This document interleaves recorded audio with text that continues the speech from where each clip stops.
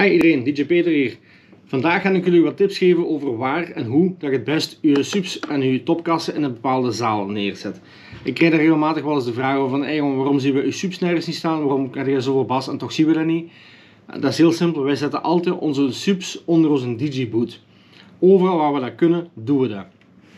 En dat is maar om één heel simpel reden, dat is gewoon puur voor het geluid. De kwaliteit van het geluid is voor ons heel belangrijk. Want als het allemaal te hard klinkt, dan gaan de mensen lopen en dan blijft niemand op je dansvloer staan. En dat is natuurlijk ook weer niet de bedoeling. Dus ik ga je een paar tips geven waar dat je het best je subs kunt zetten. Probeer het zou ik zeggen en je gaat er zelf merken dat dat veel beter is. Je geluid gaat veel beter zijn. Uh, je mensen gaan langer op een dansvloer blijven staan. Dus tip 1. Probeer je subs altijd zo kort mogelijk bij de dansvloer te zetten. En je topkassen, zorg dat je altijd boven het publiek uitkomen. Dus de, uw Twitter moet sowieso altijd boven de hoofden van alle mensen komen die in een zaal aanwezig zijn. Waarom? Dan gaat uw geluid veel verder de zalen en dan gaat nergens niet, gaat ook niet heel scherp klinken. De bassen blijven laag op de grond, dus iedereen gaat die zeker voelen. En je, je scherpe tonen gaan over het publiek. Dus je moet niet zo hard spelen voor toch iedereen te kunnen bereiken. Ook de mensen achter in de zaal gaan perfect kunnen horen wat je speelt. Zonder dat je over, uh, veel te hard moet spelen of overgemoduleerd spelen. Want dat klinkt helemaal niet. En als dat uw dansvloer uh, vol staat en uw muziek klinkt niet, dat duurt niet lang en uw dansvloer is leeg. Ik garandeer het u heel gans leeg omdat het niet klinkt. Dus, tip nummer 1. Als je dit uw zaal is, en je wordt hier neergezet met uw DJ-boot. Waar kunt u dan het best uw speakers zetten? Stel dat je uw speakers niet onder uw DJ-boot kunt zetten, dan zetten die hier. En hier. Maar zeker en vast 2 meter of 2 meter en half van de kant af. Hier net hetzelfde. Ook 2 meter en half.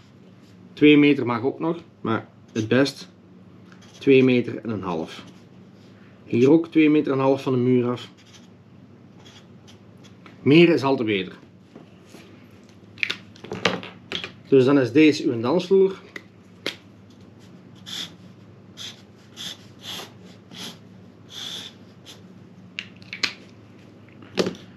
Hier kunnen nog wat tafeltjes staan waar de mensen zitten.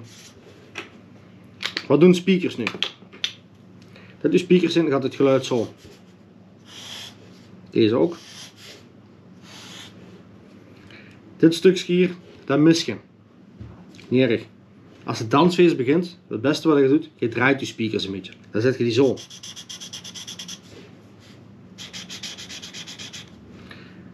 Ik ga een ander kleurje doen, dat je dat beter ziet. Dan bedek je deze.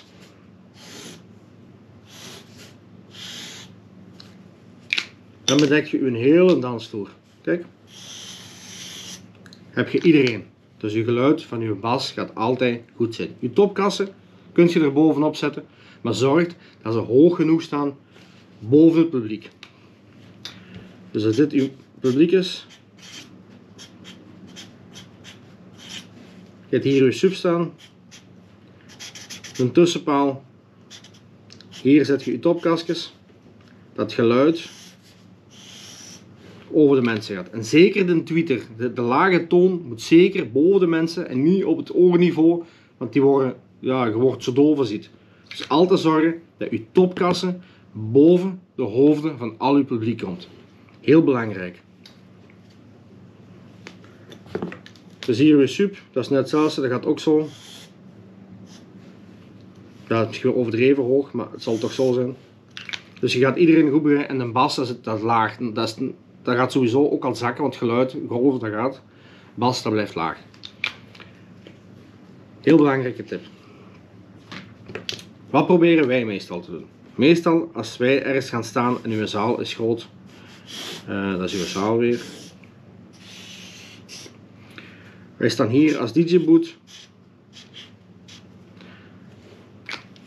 Onze subs, die staan hier.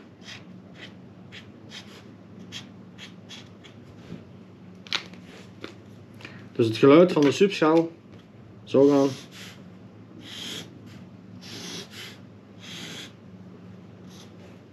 En onze stopkastjes. Die zetten we hier.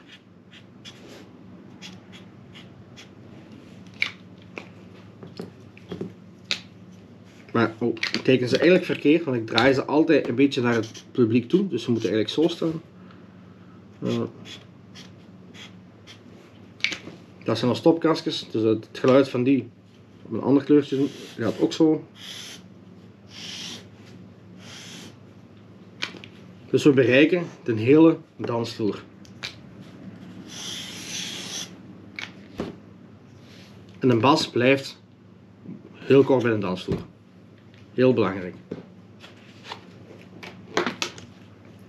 Het volgende. Pak nu dat je een grote zaal hebt. Een langwerpige zaal. En ze zetten u hier.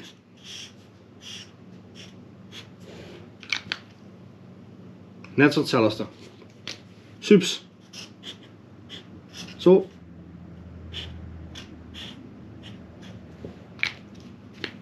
Topkastjes erboven.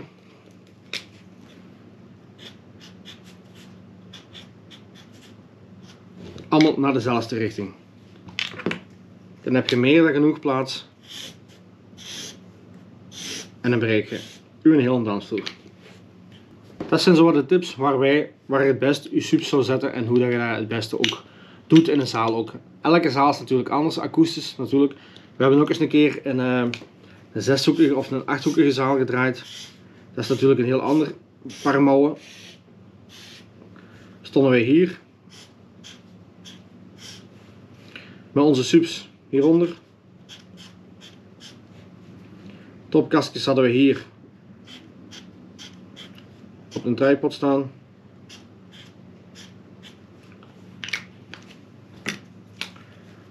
Ook zo.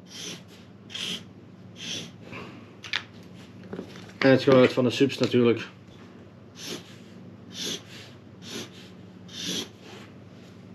En dan bereik je de hele zaal. En dan hoef je ook niet zo hard te spelen. Dan heb, dan heb je dit heel dansgedeelte. Subs laag op de grond, zo laag als je kunt. Je topkassen altijd boven je publiek zetten.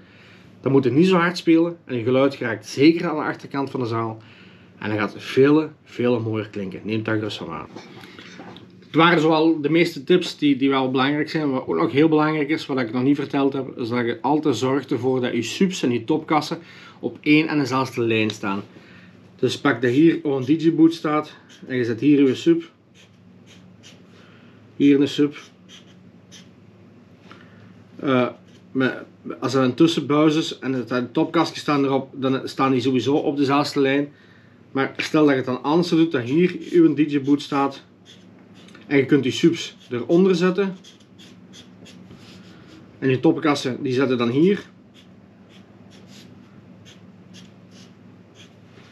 Zorg er dan voor dat het altijd netjes op één en dezelfde lijn staat. Waarom? Heel simpel. Stel nu dat je je topkassen hier zou zetten. En je subs hier. Deze lijn en deze lijn natuurlijk. Dat is heel anders. Dit geluid gaat veel sneller bij je publiek zijn dan deze geluid. Dan krijg je een delay. Dus dan gaat dit het scherpe toongeluiden gaat veel sneller bij je volk zijn dan je zware bassen. En dat klinkt helemaal niet meer. Dan gaat alles ja, heel, heel raar klinken. Je krijgt overal een delay op en dat is, dat is helemaal niet mooi. En zeker niet fijn om naar te luisteren. Jij zelf achter een DJ-boot gaat dat niet zo fel merken. Maar het volk op de dansvloer en mensen van achter in de zaal gaan dat zelfs nog harder horen. Want daar botst het geluid tegen de muur en komt het nog eens terug. Die gaan dat zeker heel fel merken en dat is zeker niet doen. Dus altijd zorgen dat je subs en je topkassen altijd op één en dezelfde lijn zijn, moest je ze natuurlijk niet gewoon op elkaar kunnen zetten. Dus we hebben nu allemaal een beetje onthouden. Ik hoop dat je het onthouden aan de mensen toch. Altijd zorgen dat je subs en je topkassen op één en dezelfde lijn staan. Altijd ervoor zorgen dat je topkassen boven het publiek uitkomen. Je subs zo laag mogelijk op de grond. Dus lage tonen laag, hoge tonen hoog. Heel makkelijk te onthouden. Um, wat dan ook belangrijk is, probeer je subs altijd tussen de anderhalve meter à 2 meter en half zeker van de muur achter u weg te houden. Uh, links, zowel links als rechts als achter u. Dus dat is ook wel heel belangrijk. Staat die zeker niet ergens in een hoek, want daar gaat serieus beginnen galmen. Dat is helemaal niet mooi.